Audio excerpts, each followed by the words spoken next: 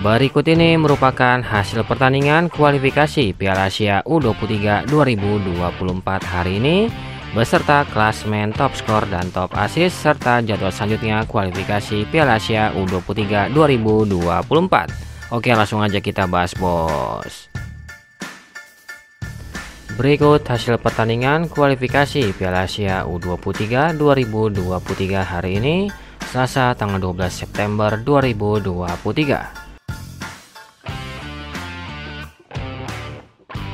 Pertandingan antara Timnas Kyrgyzstan versus Timnas Qatar berakhir dengan skor 0-1 untuk kemenangan Timnas Qatar.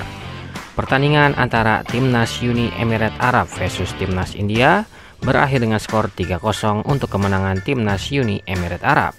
Pertandingan antara Timnas Yaman versus Timnas Guam berakhir dengan skor 5-1 untuk kemenangan Timnas Yaman. Pertandingan antara Timnas Bangladesh versus Timnas Filipina berakhir dengan skor 0-1 untuk kemenangan Timnas Filipina.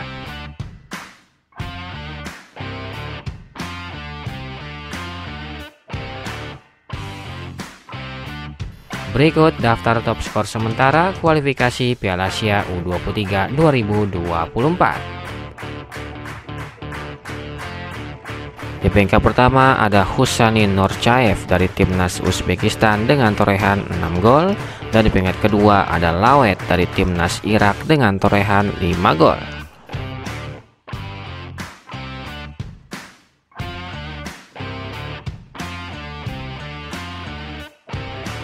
Berikut daftar klasemen sementara kualifikasi Piala Asia U23 2024.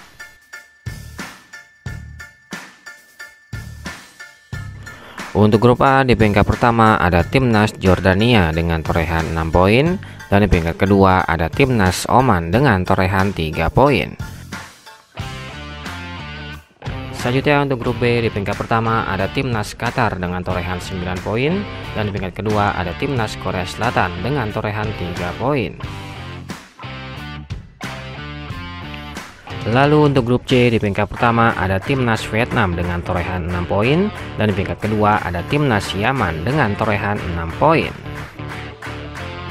Selanjutnya untuk grup D di peringkat pertama ada Timnas Jepang dengan torehan 6 poin dan di peringkat kedua ada Timnas Palestina dengan torehan 3 poin. Lalu untuk grup E di peringkat pertama ada Timnas Uzbekistan dengan torehan 6 poin dan di peringkat kedua ada Timnas Iran dengan torehan 6 poin. Selanjutnya untuk grup F di peringkat pertama ada Timnas Irak dengan torehan 6 poin dan di peringkat kedua ada Timnas Kuwait dengan torehan 6 poin. Selanjutnya untuk grup G di peringkat pertama ada Timnas Uni Emirat Arab dengan torehan 4 poin dan di peringkat kedua ada Timnas Cina dengan torehan 4 poin. Selanjutnya untuk grup H di peringkat pertama ada Timnas Thailand dengan torehan 6 poin dan di peringkat kedua ada Timnas Malaysia dengan torehan 6 poin. Lalu untuk grup I di peringkat pertama ada Timnas Australia dengan torehan 3 poin dan di peringkat kedua ada Timnas Tajikistan dengan torehan 3 poin. Selanjutnya untuk grup J di peringkat pertama ada Timnas Arab Saudi dengan torehan 6 poin dan di peringkat kedua ada Timnas Kamboja dengan torehan 4 poin. Dan yang terakhir untuk grup K di peringkat pertama ada Timnas Indonesia dengan torehan 3 poin dan di peringkat kedua ada Timnas Turkmenistan dengan torehan 3 poin.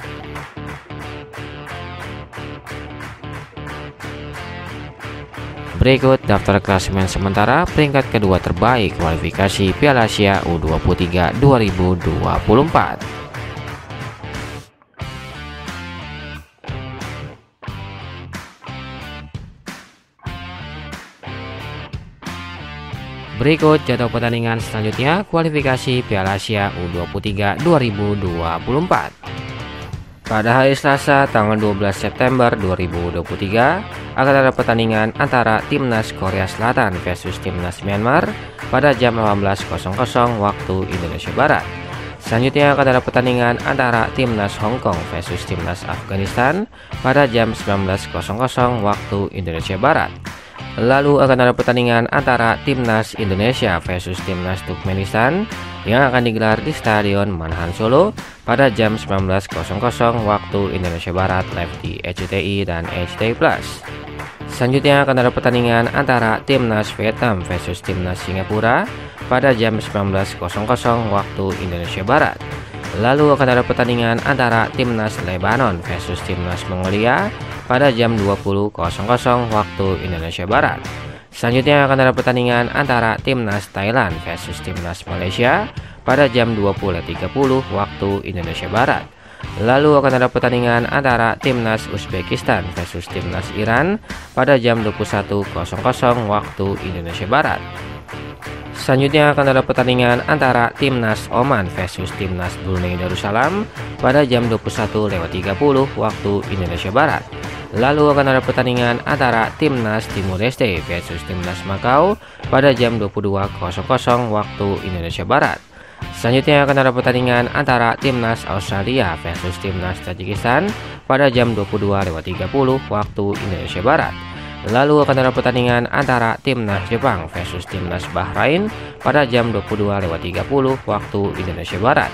Dan akan dilanjutkan dengan pertandingan antara timnas Arab Saudi versus timnas Kamboja pada jam 23.00 waktu Indonesia Barat.